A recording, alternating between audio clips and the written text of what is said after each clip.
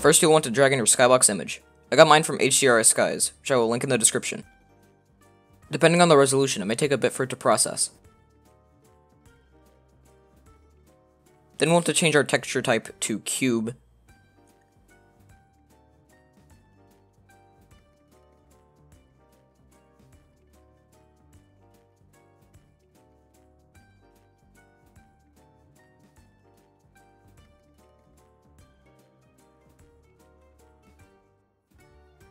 And make sure that read slash write enabled is enabled.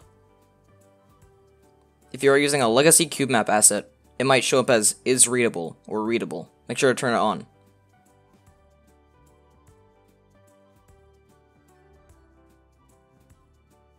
Next, you'll want to click on the SDK tab, click on Cube Map Extractor, and drag in your cube map.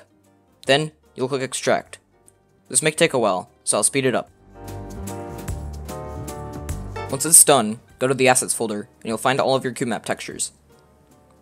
Then, select all of them, set compression to none, and turn off Generate Mipmaps. Then click Apply.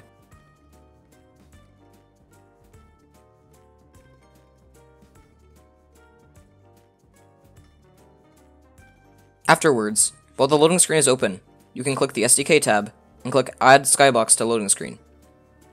This will create a new Skybox object, which has the SteamVR Skybox script. On this script, you want to drag in all of the textures, which are named appropriately, into the slots. After that, your skybox should work in-game.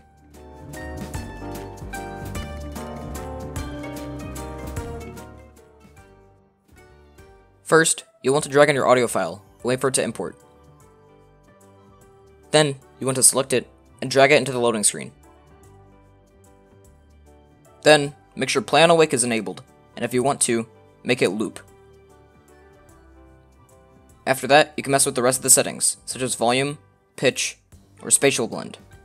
Spatial blend changes whether you hear it as 3D audio or all the time, no matter where you are. After that, you should hear the audio in-game.